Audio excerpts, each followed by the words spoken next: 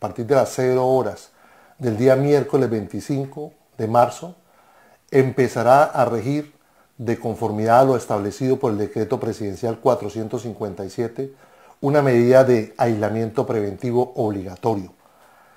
Este ha sido un decreto que ha expedido el señor presidente de la República y que le ha exigido a los gobernadores y alcaldes del país adoptarlo de manera integral. Es en razón a este decreto que el señor alcalde distrital ha dispuesto unas medidas. La primera, a partir de mañana, a las 0 horas, empieza a regir en Barranca Bermeja el pico y cédula. Esta es una medida que garantizará la no presencia de personas en gran número en los diferentes sectores establecidos por el decreto 457.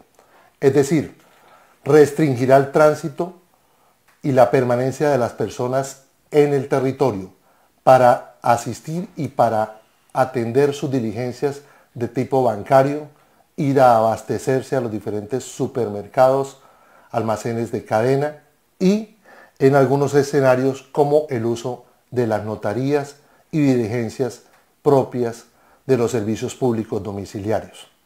Hay que destacar y hay que insistir, solamente una persona, la que tenga el dígito, el último dígito de su cédula, podrá transitar para hacer estas diligencias antes enunciadas.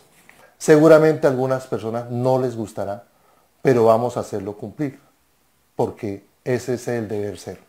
La garantía de la salud de los barranqueños está por encima en estos momentos de cualquier otro derecho. Insisto, acatemos las normas, seamos obedientes, ya hemos dado muestras de que podemos hacerlo.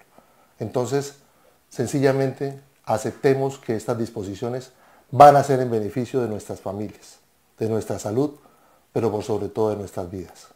Muchas gracias.